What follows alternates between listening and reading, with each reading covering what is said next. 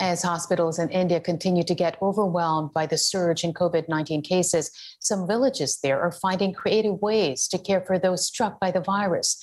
More in this report. There are cows grazing everywhere. The sick are laying under a tree, and their glucose strips are hanging from the branches. This is a village in northern India that's been engulfed by COVID 19. There's no doctor or medical facility in Mewla Gopalgarh in the state of Uttar Pradesh. The closest hospital has no beds, and the villagers can't afford private care.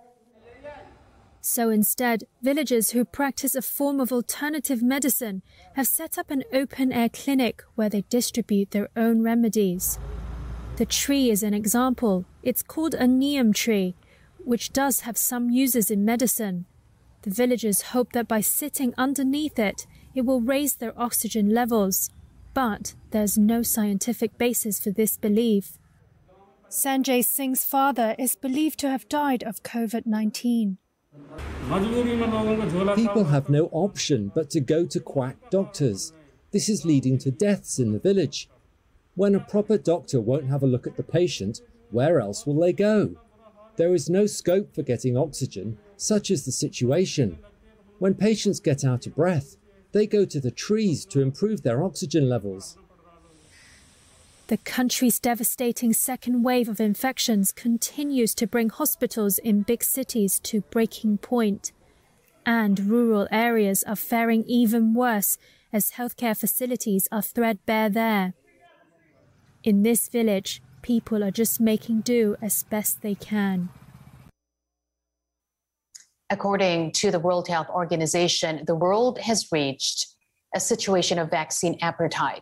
This as high income countries, which only account for 15% of the global population, have cornered 45% of the world's vaccine supply. The WHO now calling on vaccine manufacturers to create more doses for the WHO's COVAX facility following the supply shortfall on account of the export disruptions in India. So far, we have shipped more than 63 million doses of vaccine to 124 countries and economies.